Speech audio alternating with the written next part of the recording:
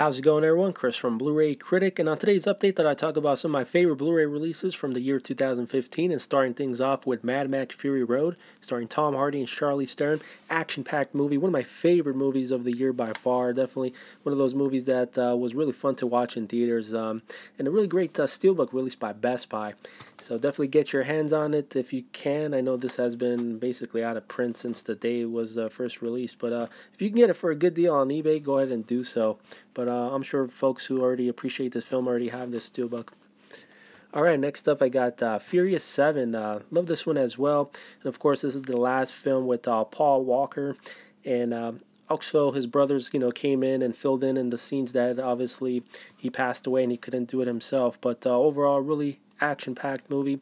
And uh, of course, they're talking about Furious 8 already. And an interesting note is since you know, Cuba and America, they're, you know, friends again. So basically, uh, Universal is really interested in filming uh, certain scenes of Furious 8 in Cuba. So that'd be really cool. And it's going to be the first uh, big production movie that takes place in Cuba. So that'll be really interesting to see. But yeah, Furious 7, really great movie. Next up, I got uh, Dwayne Johnson and San Andreas. This is the 3D edition. Of course, includes the regular uh, 2D uh, edition. And uh, this movie is, what can I say, it's just a really solid popcorn flick. Uh, you just have to go in without thinking too much and just appreciate it for what it is, what it is, and really great uh, special effects. But I like disaster movies, you know, like uh, what was the one with Roland Emmerich a number of years ago? You know, 2012 was pretty good. It was okay, but I like San Andreas a lot better than that one.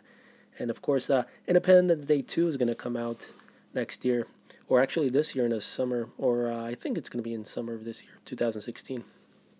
All right, next up I got uh, Terminator Genisys back with Arnold Schwarzenegger in the role that he belongs. And uh, as far as the story is concerned, it's it's okay. It's not the greatest, but I really like this one because it just you know brings back Arnold Schwarzenegger in the role since uh, we hadn't seen him since before the days of him being the governor of California, which was uh, in 2003 when Terminator 3 was released. But uh, overall, another great action-packed movie. Next up, the comedy hit Ted 2. Really liked this one in theaters when I saw it. And uh, great performance by Mark Wahlberg, and of course, hysterical performance doing the voice of Ted with uh, Seth MacFarlane. So this is the unrated cut. Tons of great special features. Lots of great cameos in this one. Definitely check it out if you haven't uh, seen it yet, or if you, you know, if you're you still have doubts about it. But it's a really funny movie.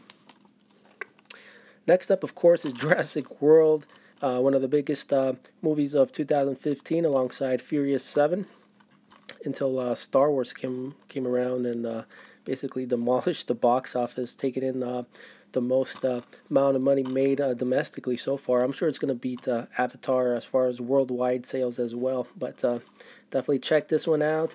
Add it to your collection if you haven't done so yet. I'm sure every fan of Jurassic World or Jurassic Park movies already owns this one, so all right, next up is Tom Cruise and uh, Mission Impossible Rogue Nation. Really solid movie again. And I saw this one in theaters and absolutely loved it. And the interesting thing about this one is, you know, Tom Cruise doing his own stunts. It just makes it that more uh, fun to watch, knowing that, you know, he basically risks his own life for the fans out there that appreciate his movies. And uh, of course, you know, he's hanging on for dear life on the side of a military cargo plane as it takes off in this one. But uh, overall, it, to me, these are like the American James Bond movies, and uh, you know, really beautiful exotic locations where it takes place. Overall, really great job, and of course, they are already announced Mission Impossible uh, Six, which probably won't be released for another couple years because Tom Cruise is working on a bunch of other stuff in between. Next up, we got Ex Machina. This was a really surprise sci-fi film, really unique movie in a really beautiful location as far as uh, where it takes place. It's this house in the middle of a forest, uh, surrounded by just you know beautiful lush lush trees with waterfall, and just an excellent movie. What can I say? Um, it really gets you thinking. You know, it's really interesting. It would be nice if we ever saw a sequel to this one, but uh, it's probably unnecessary for a sequel. But if if there is one, I'll definitely watch it. That is for sure. Really interesting uh, story. Next up, we got uh, finally the restored edition of Spartacus uh, released in 2015, and a really beautiful restoration on this one, and a really great job by Universal. I applaud them for doing a wonderful job. Definitely pick this one up as well. Also, we got uh, closing it out in the video here Interstellar. Aladdin, finally making its uh, Blu-ray debut. Of course, uh, Mr. Holmes, really great performance with Ian McKellen on a different take of uh, the Sherlock Holmes story. Also, uh, the great release of uh, Pierce Brosnan collection in one nice box set. And of course, the ultimate James Bond collection contains all 23 movies and a space reserved for Spectre, which I'll add to my collection soon.